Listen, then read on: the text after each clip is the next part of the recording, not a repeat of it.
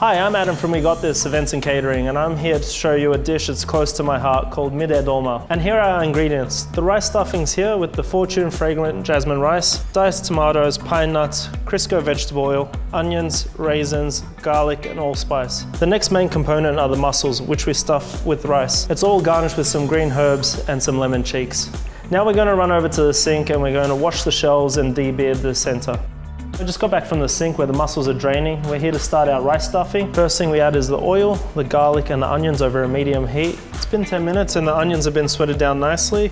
So now we're gonna add our next ingredients. The way I tend to do it is put the rice in first so it gets coated by the oil. Then I add the nuts so that it gets a bit more brown. To slow down all the browning and cooking process, I add the tomatoes. And then the last intense sweet flavors come with the raisins and allspice.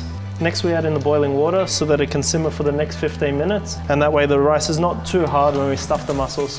While we're waiting for that to simmer, we're gonna cut up some herbs so that we can stir through just before we allow it to cool. So now the rice has been off the stove and cooling for about 10 minutes, we're gonna grab that and bring it over because it's perfect temperature to stuff the mussels. A good tip with the mussels, because these don't close properly, what you do is you twist it either way and it loosens the tension so that you can close it properly. We put a small spoon of rice in, but we don't want to overstuff it because we don't want it to expand too much in the pot. So now we place the mussels on the stove and simmer over a medium heat with half a cup of boiling water for 10 minutes. So these have been steaming for about 10 minutes and they're ready and the only thing that's left to do is plate up. So first step is to place down this beautiful Napoli sauce. Next we grab the stuffed mussels out. As you can see they've expanded slightly and the rice is nice and soft. So the only thing left to do is just garnish this, nice wedge of lemon, and then just some roughly chopped parsley. And there you have it. This is my Midye Dolma, stuffed mussels made with the Fortune Fragrant Jasmine Rice.